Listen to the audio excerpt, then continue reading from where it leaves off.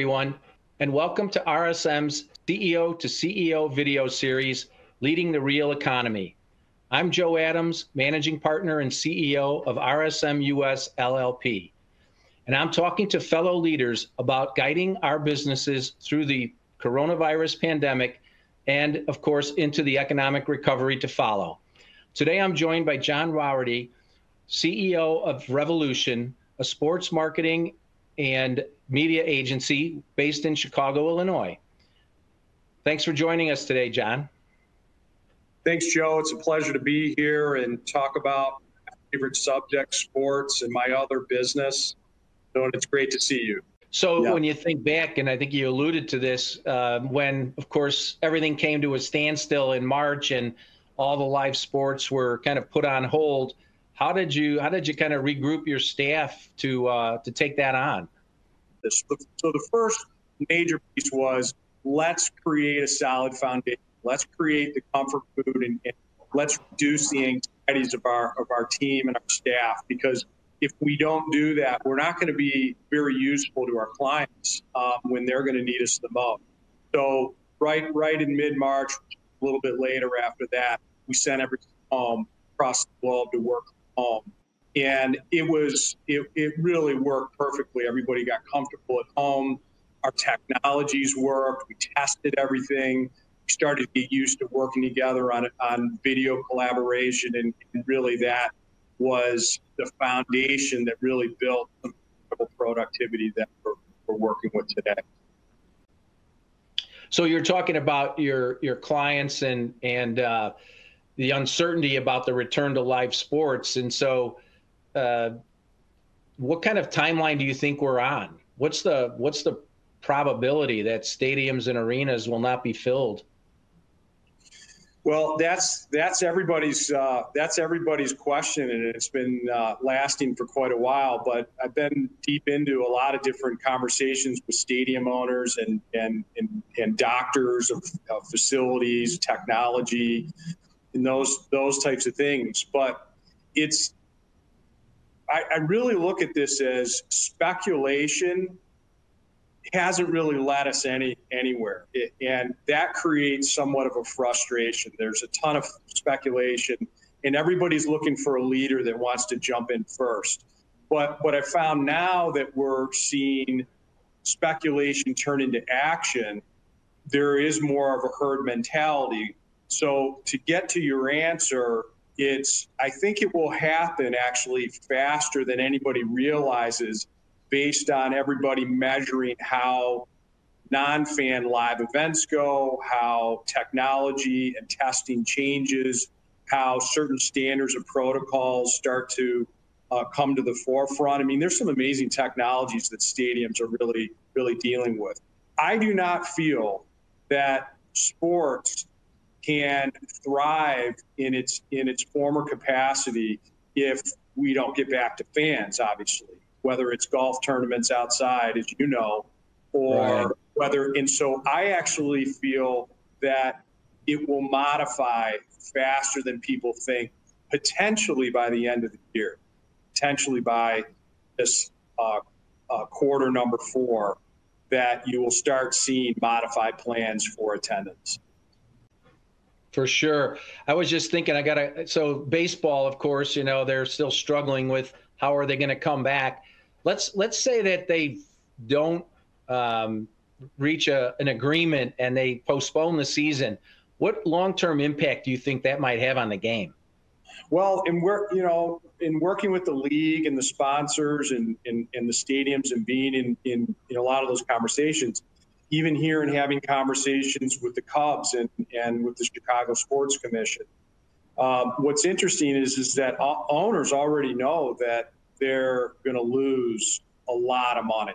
As a matter of fact, I mean they really want to look at 2021, but because their television rights provide them so much revenue, the TV is really um, the the the force factor in them coming up with some type of format. I just want to shift gears a little bit here and uh, ask you a question more about your business and as you think about um, you know, all businesses, I guess, you know, you've had to examine your costs and liquidity, uh, making sure that your ability to continue in existence was was backstopped, and just wondered what that process was like for you.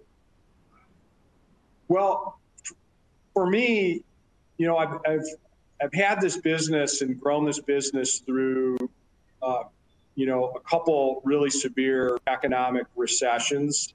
This one obviously is different because it was hard to create traction. So, so I try to bring the business much closer to me uh, first because I because I want to manage from position of strength.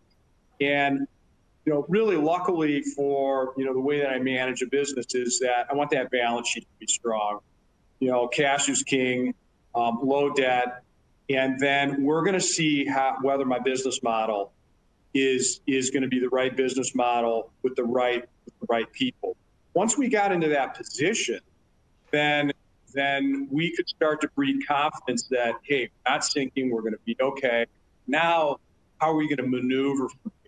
How's decision making going to happen? How can we create flexibility? And I really want agile teams now. I want a lot of communication I want to be a lot more intentional as CEO with all my staff. I want to engage and I want to know them a lot better. I want to take over. And one of the things that I really liked about it, and I think that all the employees really liked about it, is that that we started working together and seeing each other as one person instead of two people. You know, I mean, we we typically don't see our staff in their home. We only see them at work and, and we look at them, okay, you have your work life and you have your home life. And that has really created an amazing uh, alignment culture and this locker room aspect to really be able to survive uh, and win. One of the things that we instituted, I instituted, was I have executive meetings uh, as check ins um, every day at five, get on the video, and it's amazing how many little things we change. We also took a lot of decision making pressure off of the downline, you know, directors and VPs because it was a really nervous time. There was a lot of coaching going on because many of this, many of our staffers and teammates hadn't been through something like this. They didn't have the mental, right. the mental muscle to to handle it. So there's been a ton of coaching that has gone on, which I think puts us in a much better shape going forward. And, and your other point is that is well taken is that we've really worked hard to keep as many people employed and going as possible because this is a flat line, red line moment. We don't know the timing of the red line, but you don't want to be weak. We do not want to be weak in our position to respond to the red line moment, or else we'll just we'll fail to right. restart. Mm-hmm. Yeah, it becomes a self fulfilling prophecy at that point. And, and again, you know, we hope it's sooner than later. Um, but in the meantime, there are still things we can do, right? Right. There's there's a ton of things that we can do, and it's and I think it's one of the best retooling moments as well. I mean, we've taken all of our operational and financial platforms and we've we've actually retooled, plugged in new components, developed new components because we want to be able to go forward and run our business, even if we're not in the office physically. We don't do those types of types. We want Absolutely. to, we want to, right? We want to create services that respond to the to the new normal uh, that that you know that will carry us forward and develop new revenue. And you know, another thing you have done a marvelous job on is with your space. And I know you recently moved into some new headquarters uh, in the West Loop there, and so just wondering what you're thinking in terms of trying to get back at that and what are your plans there?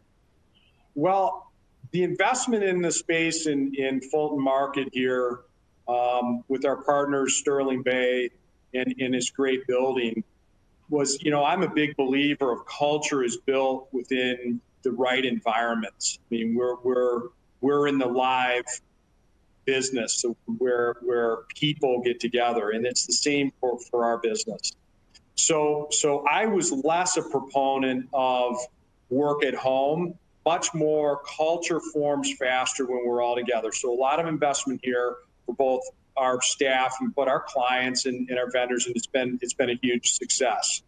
Move to today. What are you doing with an empty space for three months so far in coming back and you have this beautiful space that's that's you know that's empty and you can't get you know you want to get your employees back. So i'm i'm somewhat of a convert because there's been great productivity at work from home.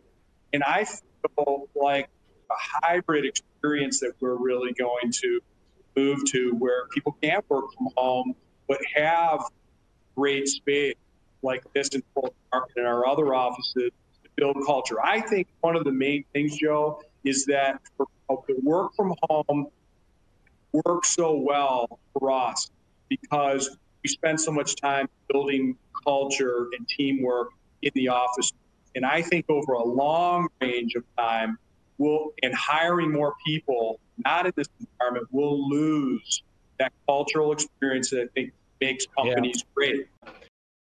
So when you reflect on the last few months and how your company has done, John, what are you most proud of? Well, I'm I'm proud of.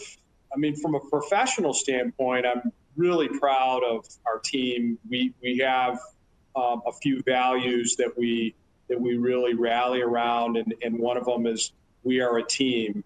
And I've been really looking for that connectivity to really to feel the energy of we are a team and and I think that what had really brought it together is us going through this together, going home and seeing each other um, and working with each other through difficulties and then the highs and lows. And the teamwork that came together has been amazing. And then from there, just the confidence everybody has shown and, and their ability to really do some incredible work and work so I'm really proud of our team. Awesome. How about you, Joe? How about you? I mean, it's a lot of the same. Uh, you know, we teamwork is, of course, uh, one of our values, but we have our behaviors that we call the five C's, and one of those C's is caring. And I think um, our our people have risen to the occasion from a standpoint of caring about our clients and making sure that we were doing what we needed to do to to help them through this and also uh, our own people, making sure that we were connecting with each other and not leaving anybody, uh, you know, to be overly uh, alone, if you will, but to, to keep uh, keep the dialogue going. And so uh, it's been great. I mean, it, it was a, uh, I think we have a strong culture going in, and it, it certainly helped helps has helped us carry the day in the meantime. So very proud of our people and what they've done to keep the wheels on and to keep things positive as we've gone through this. And I know that they're itching to uh, to get things back a little bit more back to normal, so that uh, we can take advantage of the opportunities that are out there in the marketplace. And we still, you know, coming at it from a position of strength, we feel really good about our ability to really pounce on uh, the opportunities when we get to let ourselves loose a little bit. I want to tell you, it's just been a pleasure catching up, John. Uh, you're a great client of ours and a friend and it's nice to have clients and friends. And uh, you know, it was great spending some time with you today to talk about your business and your response to the pandemic. And uh, again, I just want to wish you and all of the all of the Revolution family our best, and hopefully you uh, stay safe and be well. And thanks very much for your time today. Joe, thanks for having me. I really, really enjoyed it. I enjoyed seeing you, and and, and I know going forward, um, all good things are going to happen on that basis. I do want to tell you that RSM has been a great partner to Revolution. They've worked with Thank us you. both here and overseas to really help us maneuver and consider one of our five partners, and that that means a lot. So thank you very much, Joe. Thank you. It means a lot for us too. Appreciate it. On behalf of John Rowady, I'm Joe Adams. Thanks for joining us, and we'll see you on our next CEO to CEO broadcast.